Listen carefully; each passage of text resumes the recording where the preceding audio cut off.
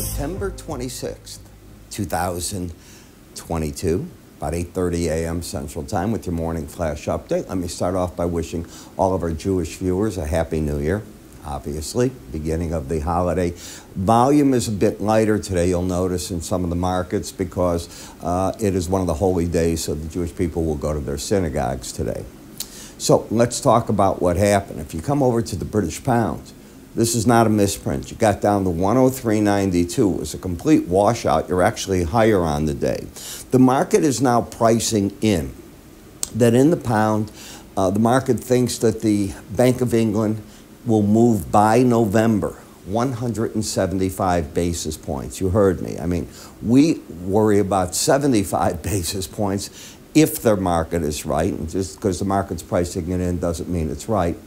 That's what they think the Bank of England's going to do in order to counter these measures that Parliament has taken with the cutting of taxes, uh, the additional spending that will be going on, capping of uh, what you pay for uh, energy.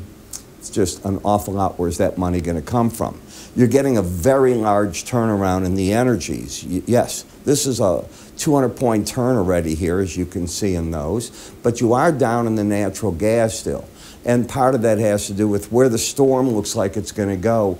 Uh, Ian, I guess it's called. It'll be a category four. So far, doesn't look like it's going to do any damage to the offshore rigs, the oil, the gas, and things of that nature. So that's putting a little bit of pressure on that. Notice that interest rates just continue to climb. Nothing changes there. Now, I want to get to the stock indices, but I want to tell you.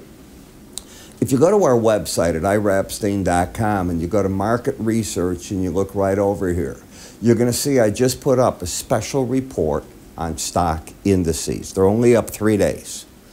I talk about where I think the market's going to get its bounce from. This is timely as can be. It's why it's only up three days what I think will happen after the bounce and where it takes you.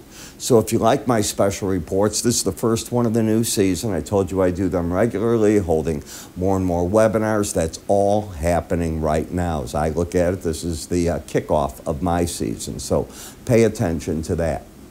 The next thing that we want to look at is the news of the day. So the Chicago Federal Reserve's August Business Activity Index came out flat. Now, July's was up 0.29, so that's a slippage. The three-month moving average, well, that came up a little bit when you look at the, the May, June, July numbers. That, that's really the key there.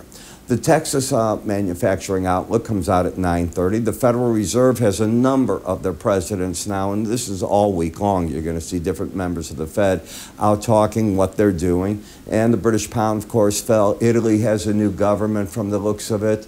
Uh, I doubt they're going to be radically different, and that's because they need the money so bad from the European Union. But when we take a look and we come over here and we go to the marketplace, you were down hard early on at 36.71. You've come back in the uh, S&P about unchanged. You were down 200 points lower than this in the Dow.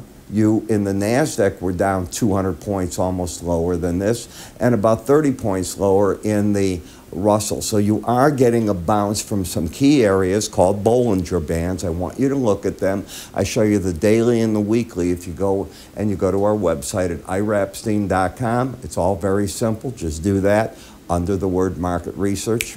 Away you go. I'm Ira. You have yourself a great day. I will talk to you all at the end of the day with your market wrap ups. Take care.